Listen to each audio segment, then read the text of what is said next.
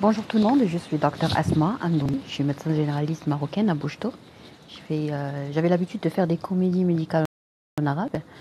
Et puis là, je pense que je vais euh, en français pour euh, essayer de répondre aux attentes et aux demandes de, mes chers amis francophones et de mes chers nouveaux abonnés francophones. Alors aujourd'hui, j'ai choisi pour vous un sujet très très très très utile et surtout très très très bénéfique pour la santé, le bien-être et ainsi que pour euh, résoudre plein de conflits, de problèmes euh, sur le plan relationnel. Alors il s'agit de la manipulation, un sujet que j'aime beaucoup. Je fais un grand effort pour apprendre à démasquer, neutraliser et se protéger des manipulateurs. Et j'ai tout le plaisir à partager tout ce que j'ai appris, tout ce que j'ai payé, soit j'ai payé de l'argent, soit je l'ai payé euh, trop cher par des erreurs et tout, pour apprendre avec vous gratuitement sur Internet. Alors, la manipulation, la manipulation et l'hypocrisie, c'est un art. Il faut admettre que c'est un art. C'est pas donné à tout le monde. C'est quelque chose qui est bien fait. Il y a des manipulateurs qui ne sont pas très, très, très gentils, très intelligents.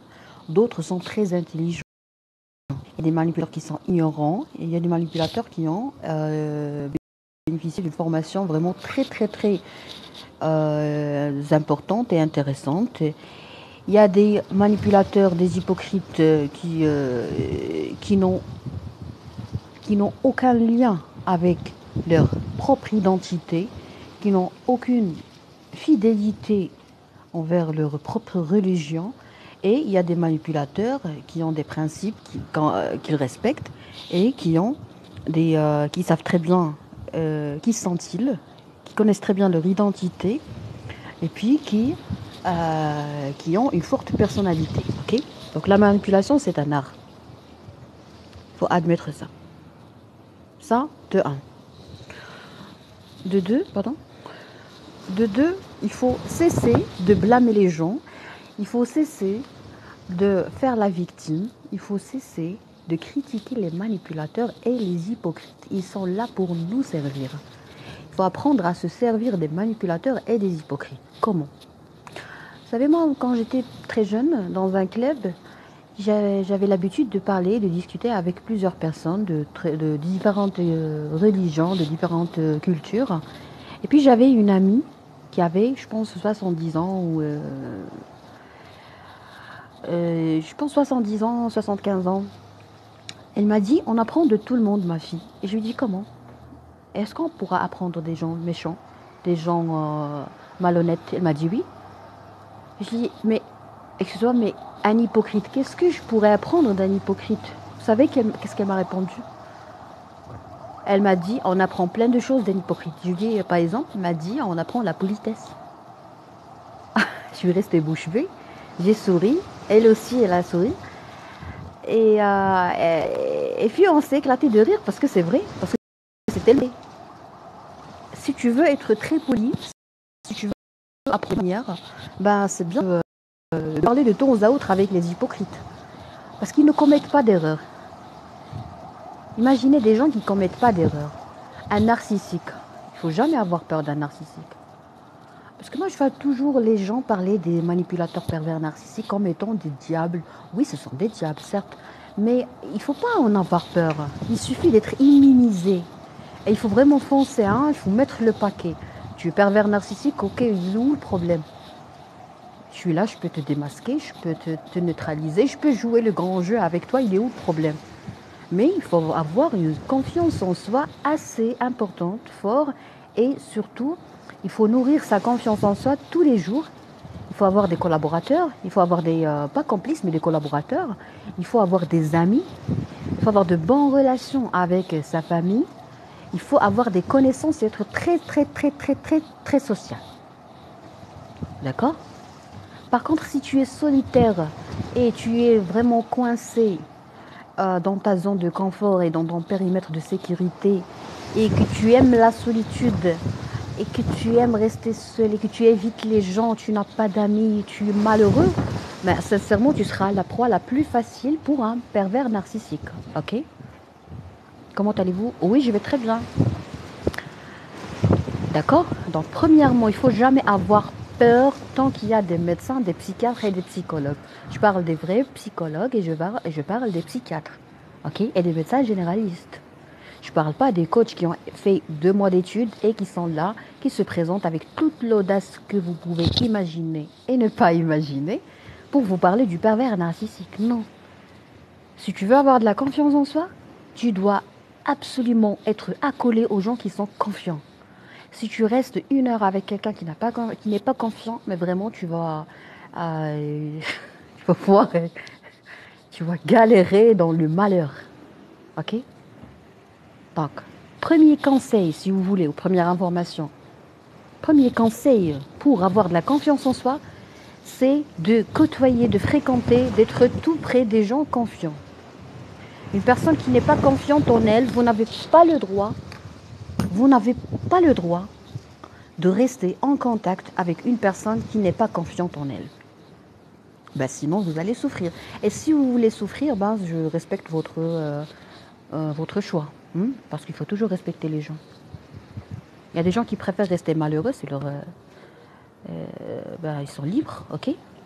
Donc, le manipulateur pervers narcissique, c'est quelqu'un qui a deux armes. Première arme, c'est essayer de détruire ton image devant les gens.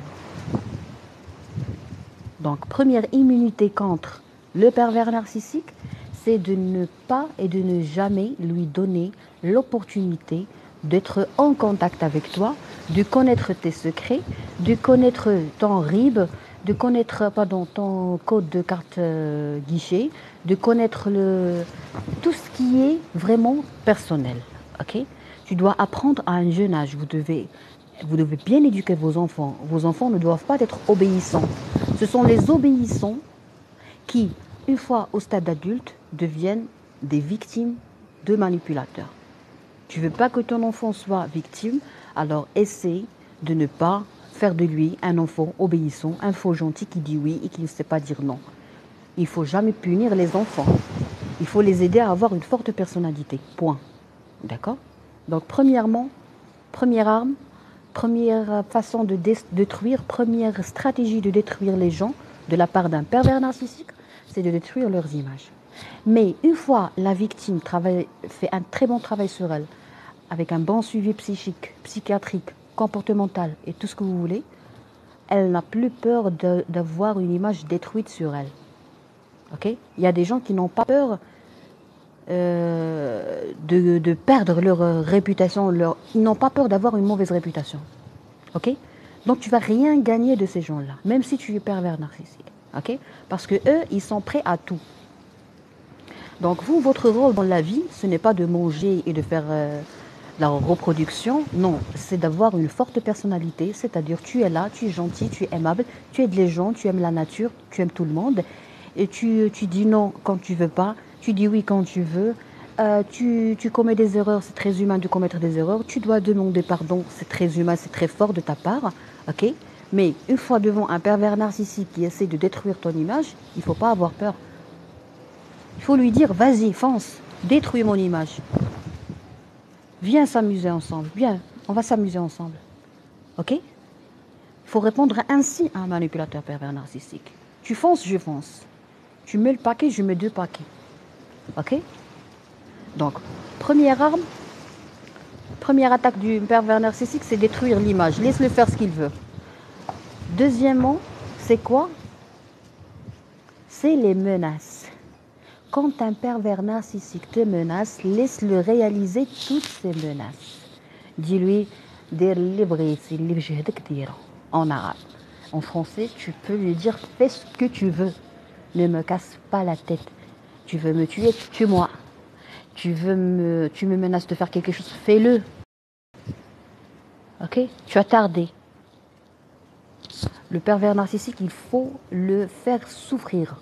Comment tu fais souffrir un pervers narcissique? C'est ayant vraiment amplifié, boosté l'ego, booster la confiance en soi, avoir des alliés, avoir des complices, avoir des collaborateurs, avoir beaucoup d'amis, avoir des vrais amis, avoir de bonnes relations avec les gens. Si tu n'as pas de bonnes relations avec les gens, tu, vas tu, es déjà détruit, ok? Ce n'est pas à cause du pervers narcissique que tu es arrivé au stade de dépression, non, mais c'est parce que toi tu es seul. Il faut jamais être seul. Il faut jamais être seul. Il faut apprendre à résoudre les conflits. Parce que si tu as du mal à, résoudre les conflits ou tu mets fin à une relation, ben c'est-à-dire que tu es faible. Quand on est faible, qu'est-ce qu'on fait? On fait du sport. On fait un renforcement musculaire. On, fait du on travaille sur notre corps pour ne plus rester faible. D'accord? Donc il faut premièrement admettre la faiblesse. Par exemple, j'ai un problème, je ne suis pas forte, ça fait bien longtemps que je ne me suis pas bien entraînée, je veux reprendre la force de mes muscles, qu'est-ce que je fais? Eh bien, je fais un effort. Je reconnais ma faiblesse, je fais un effort. Tu as un problème, tu es faible, tu as une faiblesse relationnelle, tu arrêtes rapidement les relations parce que tu ne sais pas maintenir et entretenir une, relation, eh bien, il faut apprendre. Il faut apprendre à maintenir les bonnes relations. Ça s'apprend. C'est-à-dire, il n'y a pas la loi de tout ou rien. Moi, ce que j'aime bien chez les juifs, c'est qu'ils sont très, très, très intelligents sur le plan psychique et émotionnel. Ils ne sont pas là pour faire des ennemis. Ils n'ont même pas le temps pour faire des ennemis. Un manipulateur pervers narcissique ne pourra rien gagner d'un juif bien cultivé. Ils ont une culture merveilleuse, c'est la tolérance. Et c'est la confiance en soi. Un juif n'a peur de personne, que du Dieu. Mais la kippa, la kippa, c'est-à-dire moi, je ne crains que le Dieu, ok? C'est tellement fort. Moi, je suis musulmane, j'aime bien ma religion et tout, mais j'aime bien apprendre tout ce qui est positif. Il faut apprendre de tout le monde, qu'il soit chrétien, juif, athée, de tout le monde. Les hypocrites, je les tabasse. Comment? En ayant la conscience en soi, c'est-à-dire ce que tu veux. Je me Alors, il y a des commentaires que j'ai sautés, je pense. Moi, colonel retraité, je savais Bouche d'Or en 1983. Aïe, aïe, aïe. Marhaba, c'est Ça fait plaisir. Moi, je suis née en 88, c'est-à-dire que vous étiez là avant ma naissance. Euh, Alors là, on est en train de parler de la tolérance et tout. Donc, la tolérance, c'est quoi? C'est quoi être tolérant? C'est d'accepter la différence sans se convertir. Je m'explique. Si tu es tolérant envers les juifs, par exemple, ou envers les chrétiens, tu dois les accepter sans leur demander de se convertir en islam. ok? Et toi aussi, tu dois toujours rester musulman. Si tu changes de religion, si tu te convertis, c'est-à-dire que tu n'es pas tolérant. Ça n'a rien à voir avec la tolérance. Parce que si on ne comprend pas la vraie tolérance, on va finir par perdre notre religion, notre identité. Et malheureusement, moi, en tant que médecin généraliste qui traite beaucoup les gens qui ont un problème de dépendance, d'addiction et tout, euh, délinquance, tout ce que vous voulez, j'ai remarqué que les jeunes ont un problème d'identité. Ils ne savent même pas qui sont-ils, parce que leurs parents n'ont pas le temps pour eux, parce qu'ils ne visitent pas leurs grands-parents. Pour garder son identité, il faut rester en contact avec ses grands-parents. Ce que j'adore au sud du Maroc, au Sahara, c'est que les gens rendent visite à, leur, à tous les membres de la famille. Et ça, c'est merveilleux. Il faut que les Sahraouis soient très fiers d'eux parce qu'ils ont une culture, une vraie culture.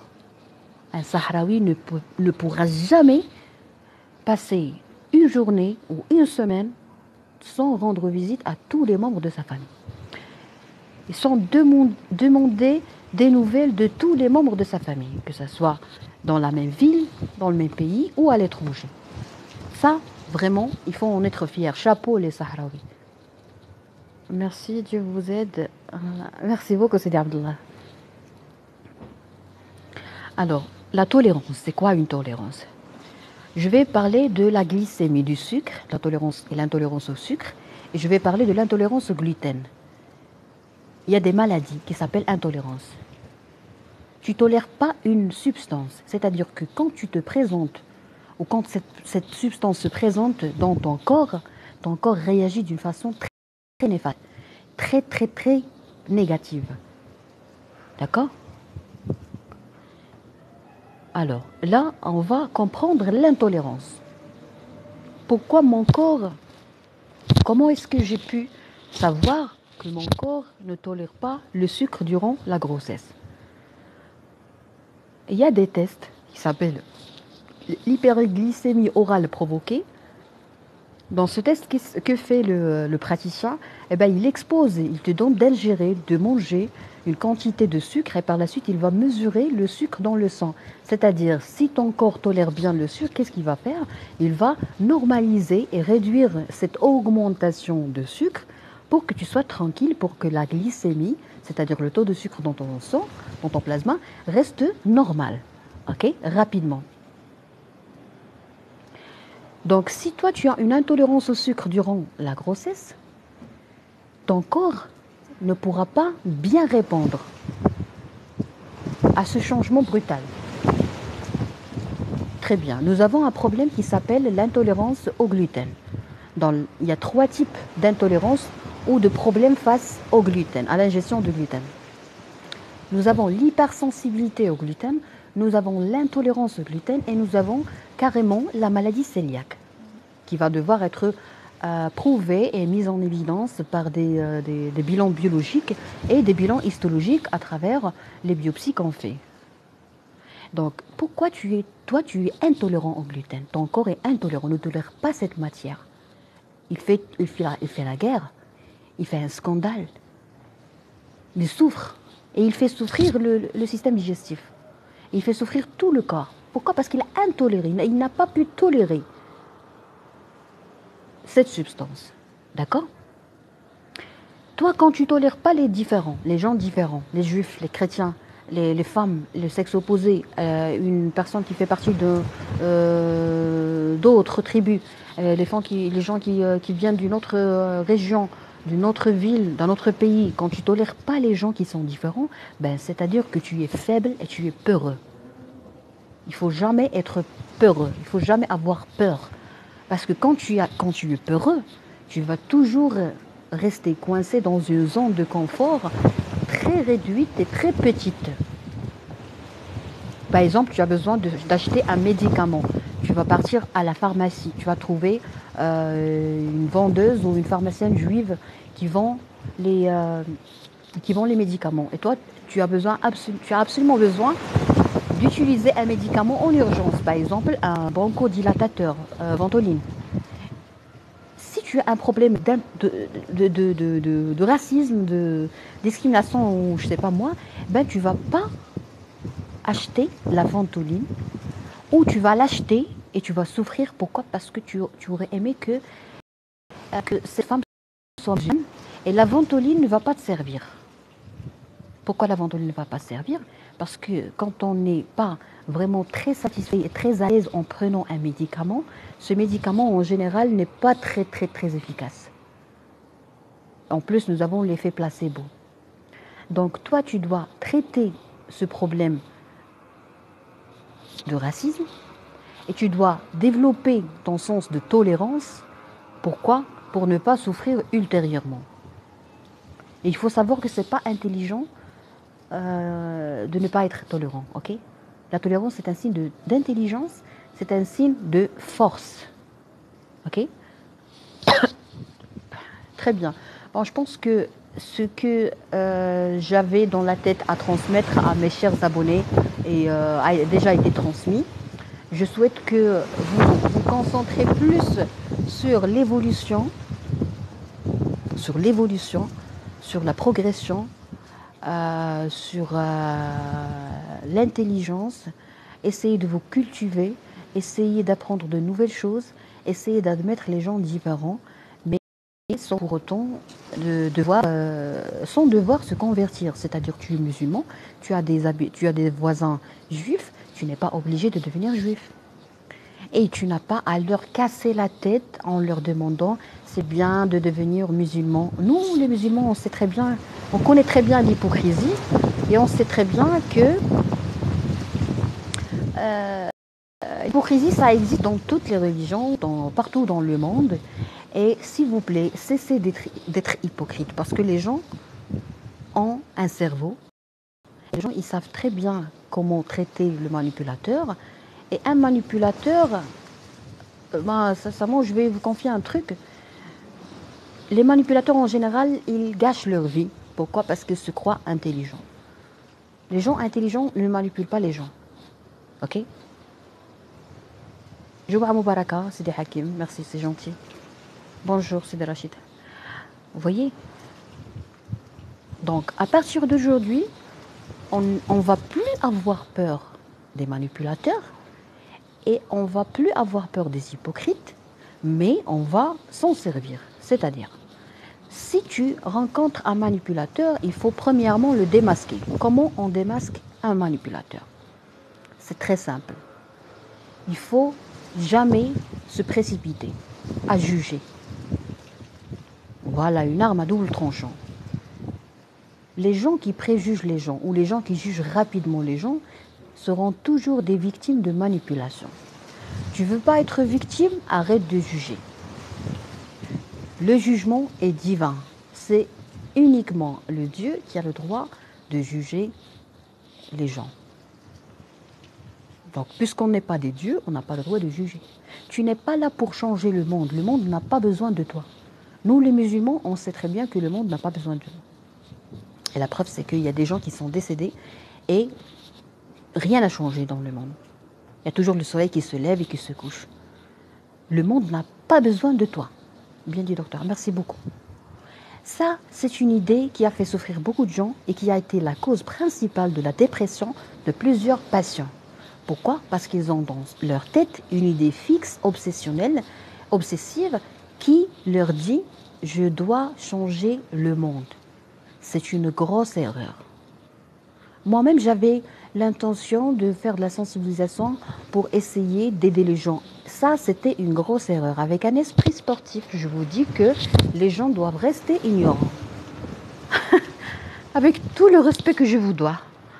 Mais il y a des gens qui sont nés pour rester ignorants. Parce que quand tu veux aider un ignorant, il va te faire souffrir. Il va nuire à toi, à ta santé psychique, à ta santé mentale, il va t'insulter. D'ailleurs, vous avez euh, remarqué que quand je fais des lives hier, j'ai fait un live où on a traité le sujet des fantasmes au Maroc.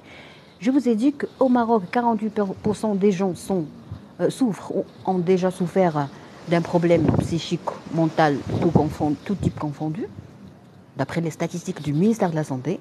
Donc la moitié d'un peuple, euh, d'une citoyenneté est malade sur le plan psychique ou a déjà été malade sur le plan psychique. Donc c'est interdit de penser à faire des fantasmes. Ça n'existe pas. Et j'ai partagé avec vous certains cas, certains cas de fantasmes morbides. Un fantasme qui va euh, aux urgences et à la réanimation et au bloc opératoire n'est pas un fantasme, ça c'est un crime. Bonjour, c'est C'est un crime. Et hier, on a abordé le sujet des corps étrangers que les gens introduisent dans leur anus et dans leur vagin. Et par la suite, s'il y a une cassure, par exemple, les, les, euh, légumes. Euh, donc, euh, si une partie reste coincée dans ton vagin, tu auras des leucorrhées, c'est-à-dire des pertes des sécrétions fétides, c'est-à-dire mauvaise haleine, mauvaise odeur. Et toi, tu vas continuer à faire de l'automédication et à prendre des ovules. Pourquoi? Parce que tu crois que si tu prends les ovules de, la pharmacie et que tu les utilises, tu vas mettre fin à cette odeur et tu vas nettoyer ton système euh, génital. Or, ce qui arrive, c'est que tu auras une surinfection chronique avec les menstruations, c'est-à-dire les règles, le sang. Vous savez très bien que le sang est très riche protéines, tout ce que vous voulez, tous les nutriments pour développer l'infection, comme dans le cadre de l'hémoculture. Très beau sujet, madame. Je vous remercie, c'était Mohamed. Donc là, qu'est-ce qui se passe?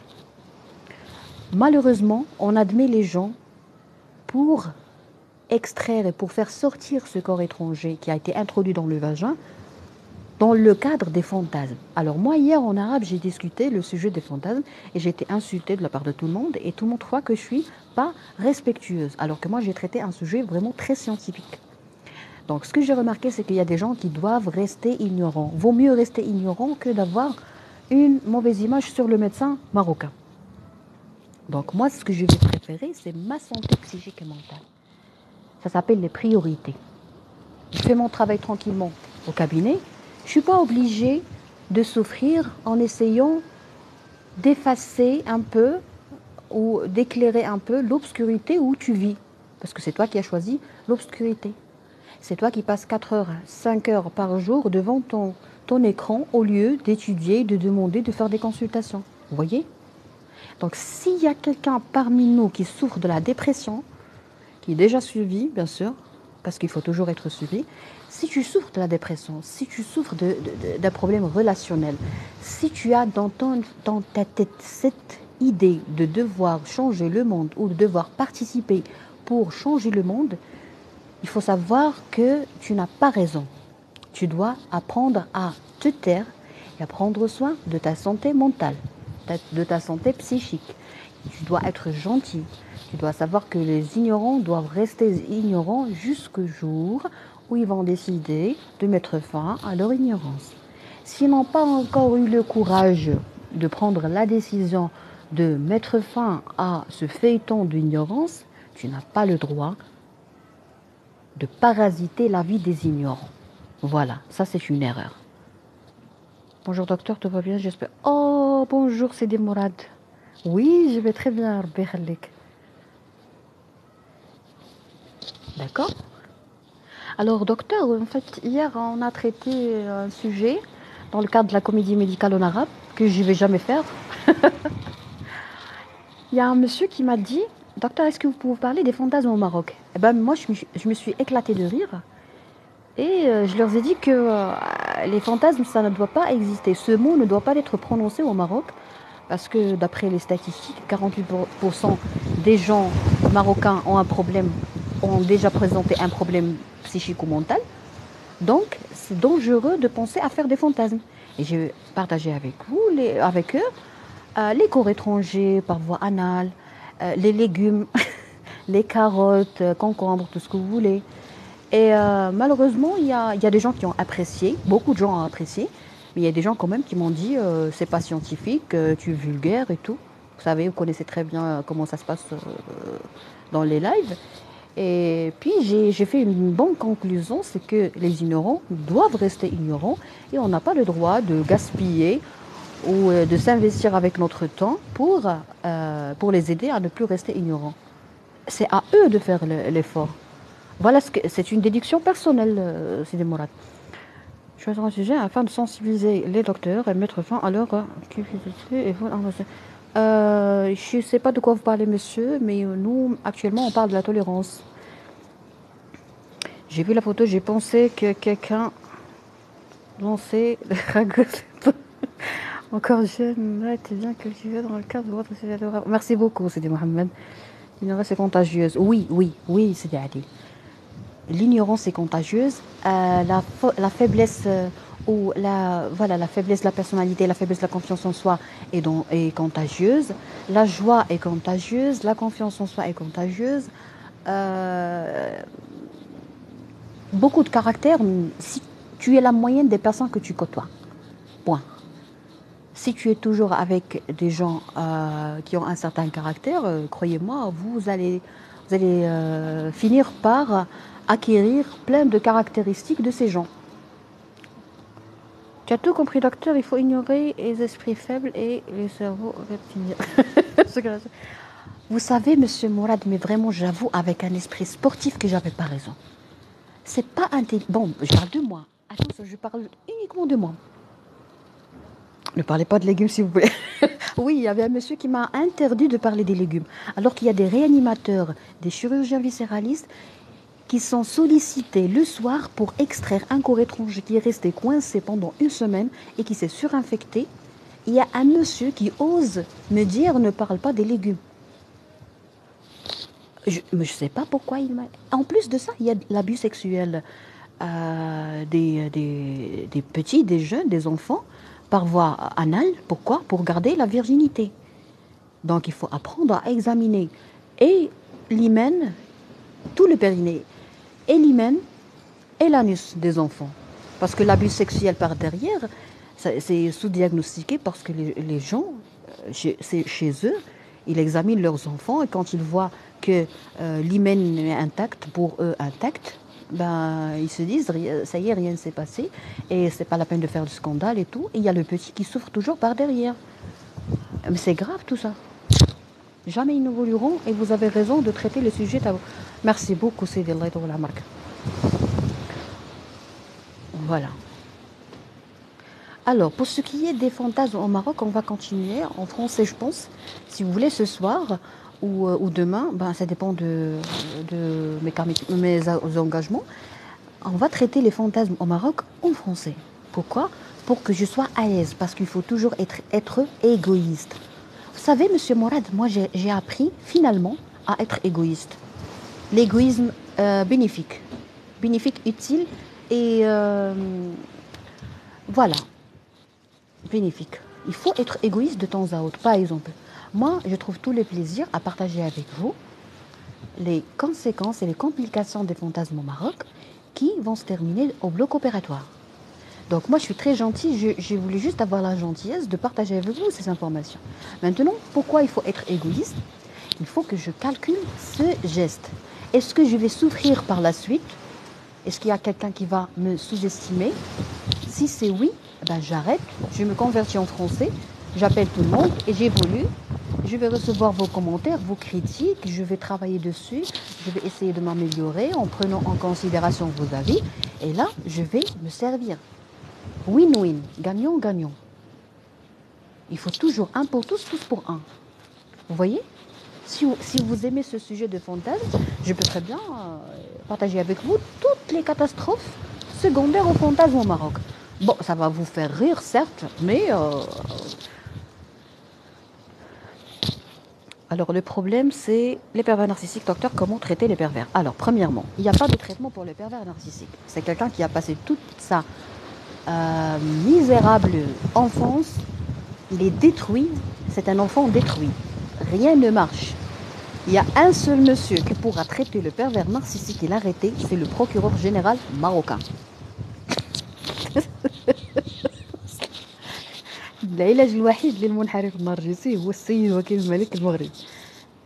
D'accord Vous allez déposer votre, votre plainte, vous allez exprimer toutes les peurs, toutes les conséquences, vous allez ramener votre certificat de la part d'un psychiatre parce que vous allez sûrement être victime de menaces. Il a tenté de détruire votre image, il vous a gâché la vie avec ses critiques, son harcèlement et tout. Donc vous devez faire un, dossier médical. Vous devez déposer votre plainte chez le procureur.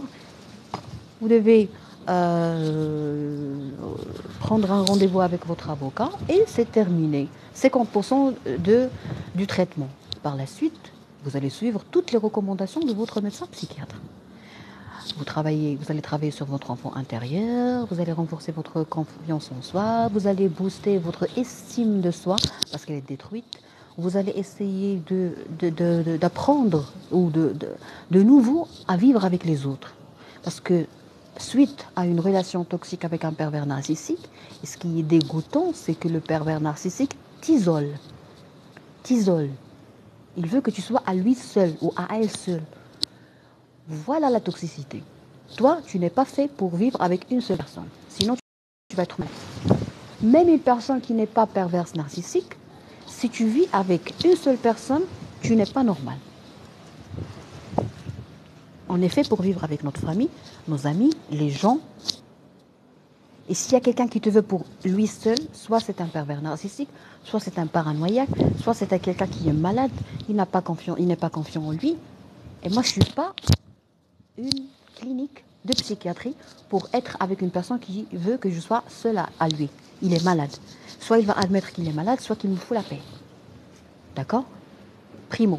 Donc toi, tu as besoin de beaucoup de gens pour qu'ils travaillent avec toi, pour que tu sortes de cette emprise euh, merdique, si vous voulez, excuse-moi pour le terme, qui a été euh, bien fondée et faite et, euh, et finalisée par ce pervers narcissique. Que Dieu vous protège.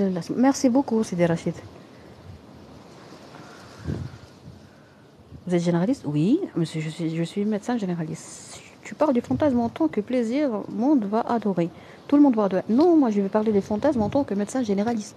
Je parle des catastrophes secondaires en fantasme. Il y a, quelqu'un qui aime tabasser sa mère, sa, sa partenaire. Pour lui, c'est un fantasme. Parce qu'il a vu ça dans une vidéo inappropriée, faite euh, après avoir consommé de la drogue. Donc qu'est-ce qu'il fait? Il tabasse sa partenaire, il la tue. Elle est admise en réanimation. Un fantasme qui se termine en réanimation n'est pas un fantasme. C'est une maladie qui doit être traitée. Déjà, les fantasmes et le comportement sexuel, en général, est toujours influencé et rythmé par la colère refoulée. On a déjà traité ce sujet. Donc, si tu es un enfant détruit, un enfant qui a souffert, et que tu, ne t'es pas encore réconcilié avec ton enfant intérieur, tu n'as pas le droit de toucher un autre corps. Parce qu'il se peut que tu vas t'éclater. Et là, c'est horrible ce qui se passe il y a des fantasmes qui se terminent par des déchirures périnéales. Mais tu me déchires mon vagin pour que tu, pour que tu satisfaises, euh, ton, ton, ton euh, fantasme, c'est quoi ça? Moi, depuis mon stage, depuis que j'étais stagiaire en gynécologie, je voyais des, des, des catastrophes, des déchirures. La nuit de noces, des déchirures de tout le vagin. Mais, mais c'est grave tout ça. Mais pourquoi tu la déchires? Parce que tu as des fantasmes. Mais va dormir, va, comme on dit Amine Radi. Spécial dédicace à Amine Radi, je l'aime bien. Mais va dormir, va avec ton, ton fantasme et ton orgasme. Tu déchires le vagin de, ta, de ton épouse la nuit de noces. C'est quoi ce délire? Merci, docteur, je vous en prie. Mon épouse est PN. J'en souffre amèrement. Aïe, aïe, aïe. Est-ce que le diagnostic de PN a été fait par un psychiatre, monsieur Amin Si c'est un psychiatre qui t'a dit que vous a dit que votre épouse est perverse narcissique, après l'avoir interrogée, c'est OK. Il faut qu'on soit clair, il faut jamais mettre le diagnostic de pervers narcissique si la victime et euh, la personne concernée n'a pas été, n'ont pas été par le même psychiatre. Et des fois, le psychiatre a besoin de faire plusieurs séances, plusieurs interrogatoires avant de mettre le diagnostic. Ça ne veut pas dire que le psychiatre n'est pas compétent, non, ça veut dire qu'il est très compétent. Ça veut dire qu'il est merveilleux. Il faut savoir que quand le psychiatre demande des consultations ou recommande des consultations et plusieurs interrogatoires avec tous les membres de la famille, il faut savoir que vous êtes entre de bonnes mains, de très bonnes mains, et que le psychiatre est merveilleux. Ça ne veut pas dire qu'il ne sait pas, qu'il a besoin de plusieurs séances pour connaître, donc il n'est pas compétent, il n'est pas bien expérimenté. Non, non, non, du tout. La psychiatrie, c'est ça. La psychiatrie, c'est de faire un bon diagnostic. Il n'y a pas le feu, tranquillement. Il faut exposer et explorer. Tout doucement. Il n'y a pas le feu. Si tu as besoin d'un traitement chimique pharmacologique, le psychiatre va prescrire, va prendre son ordonnance et va prescrire gentiment un médicament à prendre. Mais lui, il a une stratégie de travail. Par exemple, vous, monsieur Amine, vous allez partir chez un psychiatre aujourd'hui, ou votre psychiatre, vous allez lui dire Docteur, je souffre amèrement de ma femme parce qu'elle est perverse narcissique. Très bien. Le psychiatre, dans sa tête, il va pas croire à tout ce que vous dites, mais il va découvrir tout ce que vous dites. Il va creuser, il va analyser, parce qu'il est là pour vous aider. Pourquoi? Je vais vous dire quelque chose, monsieur Amine, je ne parle pas de vous, mais je parle en général dans le cadre de la médecine, dans la pratique médicale. Tous les pervers narcissiques, quand ils partent chez le médecin, ou quand ils partent chez quelqu'un, ils font toujours la victime d'un pervers narcissique. Tous les manipulateurs sur Terre font toujours ce jeu de victime de manipulation. Moi maintenant, quand, quelqu'un me dit je suis victime de manipulation, la première chose qui me traverse l'esprit, c'est que je fais face à un manipulateur. Parce que le manipulateur, il manipule tout le monde. Il manipule tout le monde, même le médecin. Il essaie de nous manipuler. Mais nous, on est protégés. Pourquoi? Parce qu'on ne rentre jamais en relation avec les patients. C'est interdit. Et on n'a pas le droit de traiter nos familles, les membres de notre famille et les amis. Ça, euh, c'est une protection que j'aime beaucoup en médecine et que j'admire Il y a des gens qui croient que c'est difficile, que c'est très dur, que euh, c'est comme si on ne fait pas confiance au médecin, je peux très bien traiter ma famille, je peux très bien... Non, non, non. Les gens sages savent très bien que les lois qui ont été faites par les seniors en médecine protègent le médecin. Tu me dis que tu es victime de manipulation? Moi, la première chose à laquelle je pense, c'est que toi, tu es manipulateur. Donc, toi, tu dois montrer au psychiatre d'abord que tu, tu n'es pas un manipulateur. Il va t'interroger. Et n'attends pas du psychiatre à ce qu'il te dise Ah, le pauvre. Parce que le manipulateur, il attend toujours cette réponse. Et quand tu et quand tu euh, suis pas les recommandations ou la stratégie que le manipulateur a mis, il se met en colère.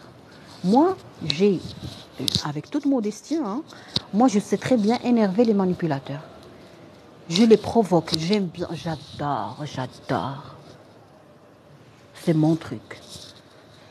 Quand quelqu'un vient me demander quelque chose, vient, m'ordonner gentiment, vient me manipuler, je fais toujours le contraire. De façon vraiment légale, gentil. Je ne parle pas de la pratique médicale, je parle en général. Quand tu viens me dire, Asma, je suis victime de manipulation, il y a maman qui me manipule, il y a ma nièce qui me manipule, il y a mon neveu qui me manipule, il y a ma, petite amie qui me manipule, il y a ma fiancée qui me manipule. Je sais très bien que tu es un manipulateur. Donc qu'est-ce que je fais quand tu me dis que tout le monde est méchant? Je ne dis jamais que le monde est méchant. Je te dis toujours que euh, il faut faire des, euh, il faut faire des résolutions de conflits il faut penser avoir un psychiatre, il faut penser avoir un, psychologue, euh, il faut euh, demander une explication, il ne faut pas préjuger. Quand tu juges quelqu'un de manipulateur, moi je te pousse à ne jamais juger les gens. Et je te conseille, je t'oriente chez le psychologue. Le manipulateur, le manipulateur, il déteste le mot psychiatre. Il déteste le psychiatre. Pourquoi? Parce que le psychiatre est un expert. Il sait très bien, il déteste les psychiatres et les juges. Les juges, procureurs et tout. Pourquoi? Parce que le juge est quelqu'un qui est bien formé et bien immunisé contre les manipulateurs et la manipulation. Moi, j'adore les juges. Ils ont un cerveau euh, en or. Et j'adore les psychiatres. Parce que le psychiatre ne juge jamais. Bon, les médecins tous ne jugent jamais. Mais quand j'oriente mes patients à un psychiatre, c'est normal d'aimer les psychiatres. Vous voyez? Alors, je vais lire vos commentaires. Je pense que euh, il y a des commentaires à lire. Mmh. salam. Ça signifie quoi cette étoile? Ben, je suis pas là pour euh, expliquer euh, ce qui n'est pas clair aux gens. Ça signifie la tolérance. Ça signifie que je n'admets pas les gens qui n'ont pas un sens de tolérance sur mon compte. Soit tu tolères tout le monde, soit tu fais bloc à mon compte. Je veux réduire le nombre d'abonnés. Je ne veux plus avoir les gens racistes, je ne veux plus avoir les gens discriminants, je ne veux plus avoir les gens ignorants, je ne veux plus avoir les gens euh, malpolis. Euh, je ne veux plus avoir les gens qui se mêlent des affaires des autres. Je ne veux plus avoir les gens qui n'ont pas confiance en eux. Vous voyez pourquoi je l'ai mis Je l'ai mise? Soit tu acceptes la différence, soit tu, tu peux disposer. Je suis à Dakhla, j'espère vous rejoindre pour, pour te satisfaire. Je t'adore. Me satisfaire sur quel plan, monsieur Saïd? Ah, le monsieur est. Euh, malheureusement a pu rejoindre, euh, nous rejoindre euh, euh, vers la moitié du live. Il a lu, il a entendu Fantasme et il a dit Je suis à Dakhla, je, peux venir pour vous satisfaire. Alors, monsieur Saïd, je vais vous, vous éclater par une, par une information médicale sur. Quand un homme te dit je vais te satisfaire sur le plan sexuel, il faut être sûr qu'il a un problème d'éjaculation précoce. Il faut être sûr à 80% qu'il a une éjaculation précoce. Pourquoi? Parce que les gens qui sont frustrés ne cessent pas de dire qu'ils sont très forts sur le plan sexuel. Je m'explique. La frustration, c'est quoi? C'est l'insatisfaction. C'est l'excitation sans orgasme. C'est quelqu'un qui ne termine pas son travail. Quand un homme termine son travail, il est très très très gentil, très poli et très calme. La douceur. Les hommes qui ont vraiment du souffle, qui savent très bien comment satisfaire les femmes et euh, se font plaisir, ils sont très calmes. Pourquoi? Parce que le sexe, euh, pardon, les relations intimes sont un traitement anxiolytique, euh, un calmant, un antidépresseur naturel. Donc un homme qui fait des rapports de très haute qualité est très calme, très doux, comme s'il a pris de la morphine, de la drogue. Quand tu vois un homme qui est frustré, il est en général très effervescent. Il ne cesse pas parler du sexe. Pourquoi? Parce qu'il n'a jamais été satisfait. Donc, si vous, monsieur Saïd, n'avez jamais été satisfait, comment est-ce que vous pouvez satisfaire une femme? Malheureusement, vous êtes tombé sur la mauvaise adresse. Je suis médecin généraliste. Et donc, euh, votre journée est ratée. Il faut traiter la frustration, monsieur Saïd. Si vous n'avez d'enfant, sauvez-vous, je souffre, ça fait 26 ans. Alors, il faut jamais écouter les conseils de l'autre.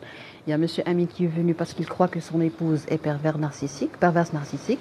Il y a un autre monsieur qui lui a dit, il faut arrêter le jeu si tu n'as pas d'enfant, parce que moi, ça fait 26 ans que, euh, que, euh, j'en souffre.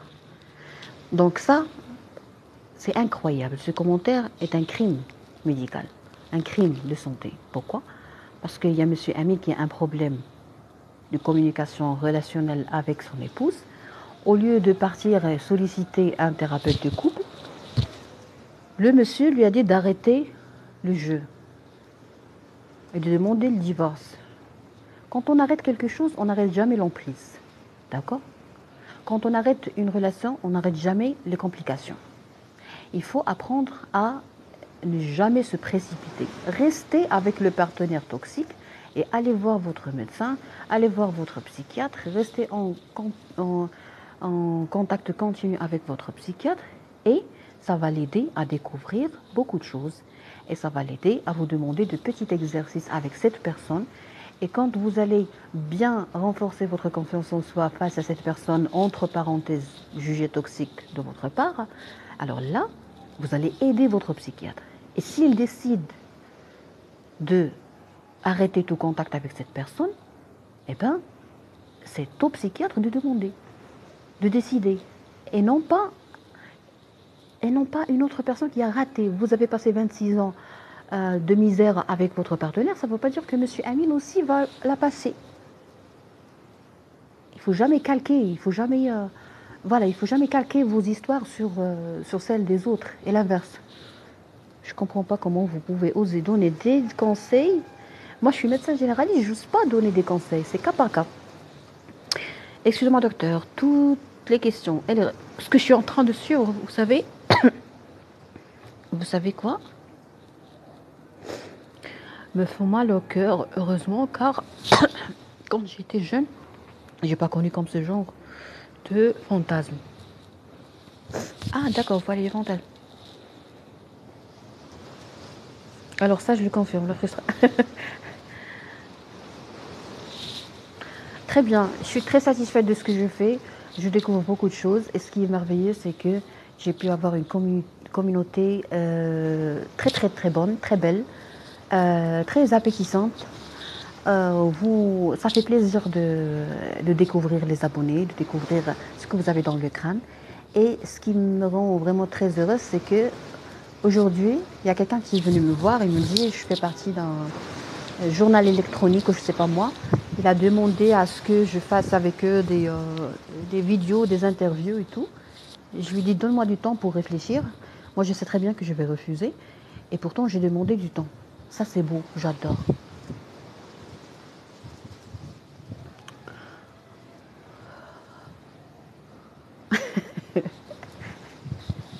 Écoutez, je veux vous dire quelque chose. Quand, quelqu'un te demande quelque chose, il faut toujours demander du temps. Même si dans ta tête, dans ta petite merveilleuse tête, tu es sûr de ta réponse. Moi, je suis contre les interviews. Parce que moi, je ne suis pas... Euh, Monica Bellotti. Je suis pas. Euh, moi, j'aime pas ces interviews. Ça me dit rien. Des interviews pour parler et pour montrer aux gens quelque chose. Moi, moi, je veux plus rendre les gens cultivés. Je veux plus participer à,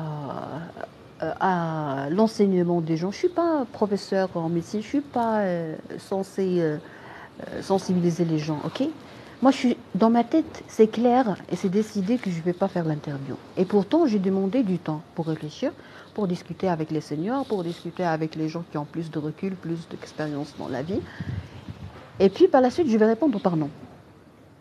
Ça s'appelle se respecter.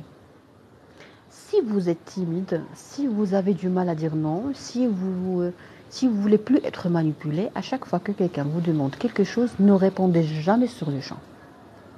Demandez toujours un délai. Demandez toujours du temps, même si la réponse est claire. Et s'il te dit non, j'ai besoin d'une réponse maintenant, vous allez répondre non, avec toute confiance et certitude. D'accord?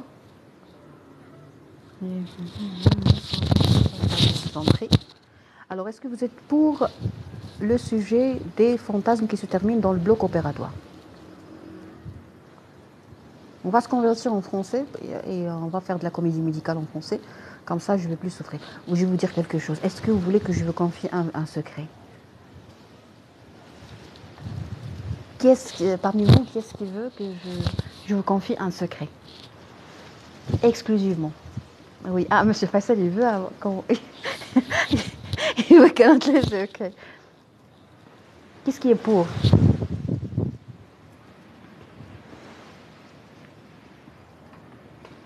Alors, deux, cinq personnes et je dis le secret. Et je, dévoilerai le secret. Donc, il y a Hicham, il y a Faisal, il y a Dr Yunus. Trois.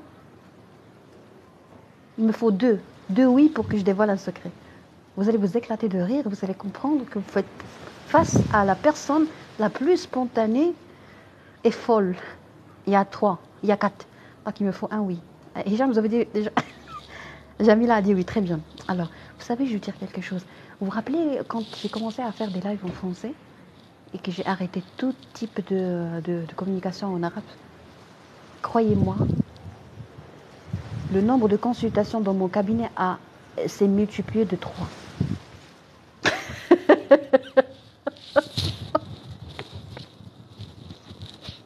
je suis dans une, je suis dans une petite ville où la majorité ne comprend pas français. Et quand tu, essayes d'aider les gens, de leur montrer quelque chose de très utile pour eux, de la façon la plus simple, en arabe, d'Arija, avec de la comédie, avec de la bonne humeur, avec de la bonne atmosphère, qu'est-ce qu'ils font? Ils te sous-estiment. Et quand tu discutes en français et qu'ils comprennent rien, absolument rien, mon téléphone ne cesse pas de sonner il y a des rendez-vous, il y a tout le monde qui veut venir. Pourquoi? Ah, c'est un médecin, elle parle en français. Et moi, ça m'arrange. Hein. Pourquoi ça m'arrange? Parce que je ne me casse pas la tête. On m'insulte plus, on me respecte, on me dit bonjour dans les rues. Il y a tout le monde maintenant qui me dit bonjour. Imaginez, je me sens gâtée. Je me, sens, je Monica Bellotti. je me sens gâtée dans les boulevards et dans les rues. Il y a tout le monde qui dit Ah, docteur Asma, tu peux passer avant moi. Ah, mais c'est beau d'être gâté, surtout pour nous les femmes. Ça, c'est un secret que je dévoile en direct et que je vais publier sur YouTube. Pourquoi? Pour rendre servir à mes chers abonnés, à mes chers abonnés, et pour vous dire que j'ai fait une étude prospective sur terrain. J'ai remarqué qu'il y a des gens que plus tu n'es pas, tu n'es plus disponible, plus tu es difficilement accessible, plus, plus on ne te comprend pas, plus on te respecte. C'est bizarre, mais c'est vrai et c'est très très bénéfique. Docteur Asma. Wallah, docteur, fait la différence. Vous allez capter l'attention des gens. Ah, merci beaucoup, c'est c'est très gentil. Mais, moi, je pense pas que j'ai. Moi, personnellement, je pense pas que j'ai commis un crime parce que je fais de la comédie. Moi, moi je fonce, hein, je fonce, je, je mets le paquet. Je donne tout, je donne tout. Quand je fais de la comédie en arabe déjà, mais vraiment l'arabia. Euh, Quand je fais, euh, euh, quand je discute en français, vraiment je, mets une autre casquette. Et les gens ne comprennent pas ça, mais, mais tant mieux, tant mieux. C'était une expérience. Voilà un monsieur qui n'a pas encore pris son café, qui m'a insulté en bas. Bonjour monsieur Shafek. Shafek le boss. je vous admire monsieur Shafek. Non, je suis médecin généraliste.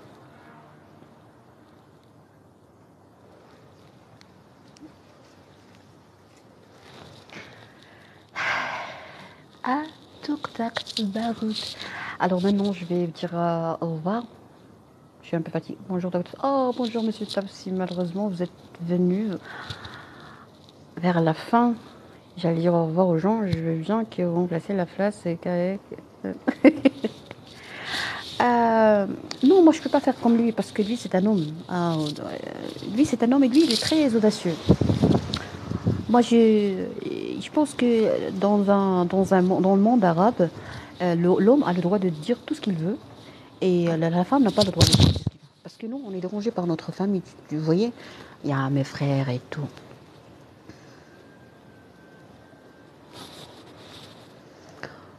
Suis contre ces fantasmes des blocs opératoires. À mon avis, ils doivent être punis. Il explique l'éducation sexuelle. Oui, oui, oui. Mais lui, c'est un homme. Lui, c'est un homme. S'il dit quelque chose, par exemple, euh, il faut être très audacieux quand on explique l'éducation sexuelle. Mais euh, moi, je vais souffrir plus que lui. Vous voyez? Donc, euh, je préfère, je préfère me protéger parce que les, les femmes, déjà, euh, bien loin de, l'image, de la réputation et tout, et de la différence entre femmes et hommes dans le monde arabe, la femme souffre du stress. Elle n'aime pas le stress.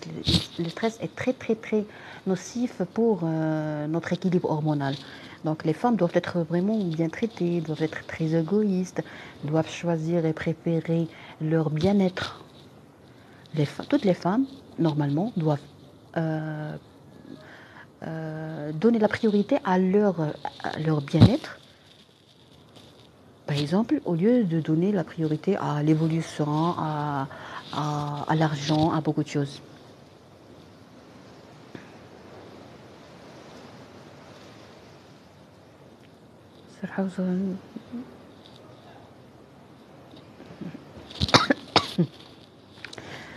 D'accord, alors je vais dire un petit mot arabe à mes chers abonnés المتتبعين ديالي الرائعين بغيت غندوي بالعربية جاتني قهبة بسم الله الرحمن الرحيم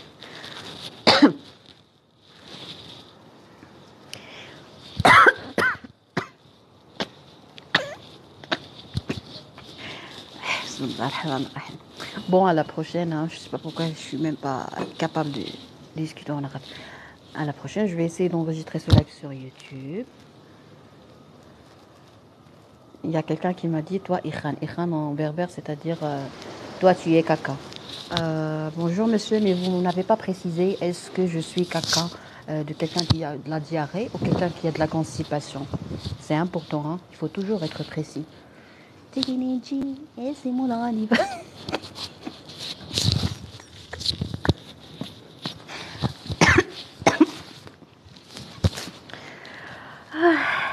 Notre pays bien aimé et musulman et on va respecter. Alaykoum wa baraka. Alors, en islam, il faut être tolérant. Ladies and gentlemen. À la prochaine. On vous suit, docteur, on vous supporte bien. Bonne continuation. Merci beaucoup. C'est très, très aimable. À la prochaine.